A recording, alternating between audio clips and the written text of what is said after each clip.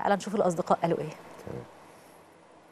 بسم الله الرحمن الرحيم. تحياتي ليكم كلكم أنتوا معاكم واحد بقى من أحرف السردباكات اللي جت في تاريخ الكرة المصرية. هو عبد الظاهر السقا عبد الظاهر سامي يعني دلوقتي يعني آه، جو منور منور الدنيا. لعيب آه، محترم جدا ولعيب مثقف لعيب آه، متعلم بشكل كويس. دماغه حلوة بيفكر بشكل رائع. كان بصراحة سابق عصره. يعني كابتن محمد يوسف كان واحد من السردباكات اللي بتزيد وإحنا كنا بنلعب على طول بخمسة فراجل آه، كورته حلوة قوي كان هداف. أنا كنت مع الكابتن محمد يوسف وهو راس حربة وأنا تحت الراس حربة في النادي الأهلي في الناشئين.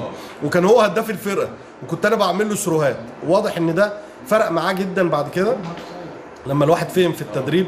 يعني فرق مع كابتن محمد يوسف إنه كان بيلعب راس حربة وكان بيلعب آه، جناح شمال. لما رجع كسردباك على طول كنا نتحايل عليه نقول له يا يوسف امسك الراس حربه يقول لك لا راس حربه هو اللي يجي يمسكني. أنا امسك راس حربه ليه؟